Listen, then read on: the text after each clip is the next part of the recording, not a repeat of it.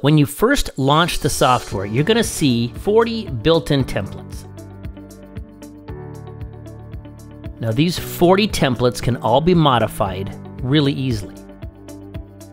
So, like I said, the first thing we're going to learn is how to manipulate the text. So let's just click on a template. I like this one.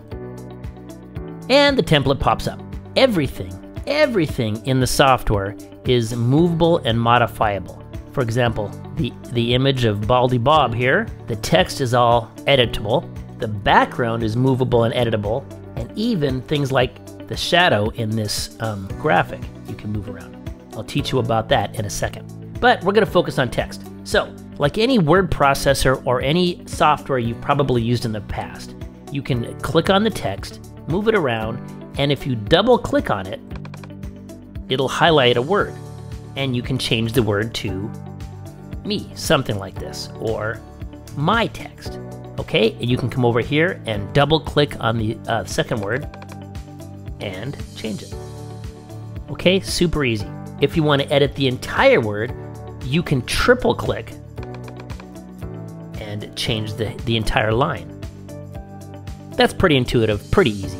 And if you'd like to resize the text, you'll see these little grab handle things, okay?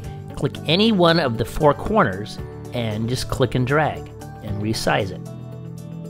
Okay, super easy.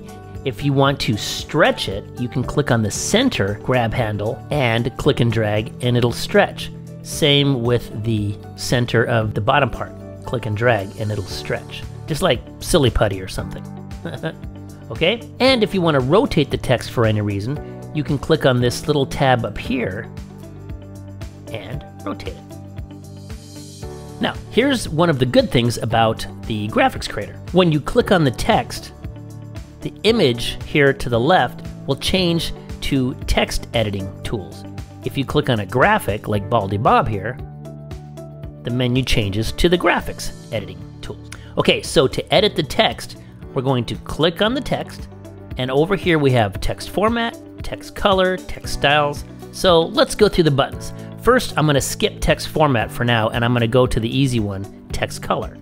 If I click it, I can simply click on this little black square here, which is the black color. Click it, and if you watch me roll my mouse around, the text changes color. Now, if I wanted to have the text color the same as his tie, for example, I would come over here to this little eyedropper tool. I would click the eyedropper, and I'd come over here and I would click somewhere in the tie to pick up the color of the blue. I'm to click it. And the text changes to the same color blue. If I wanted the black part, it would take turn to black or the white. Okay, you got the idea. Or maybe his his uh, face color. Okay, I like the blue. I'm gonna leave it that color, and I'm gonna come back over here and turn off the eyedropper.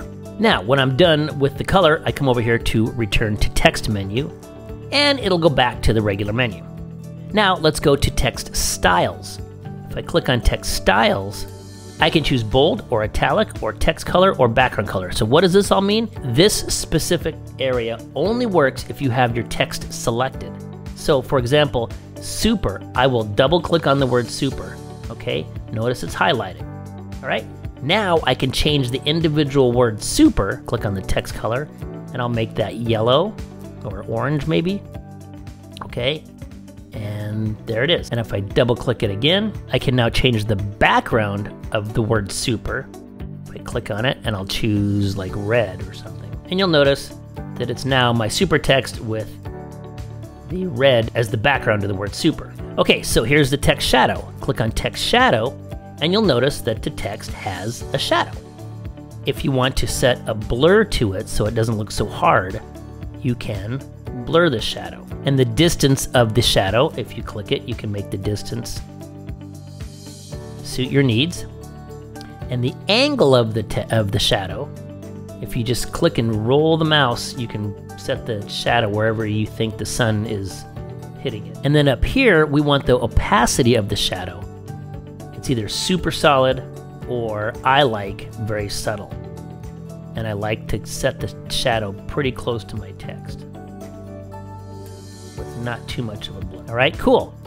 I'm going to return to the text menu and I'm going to set the outline around the letters. So if I click on outline, you'll see a dark outline appear and I can set the strength of that outline.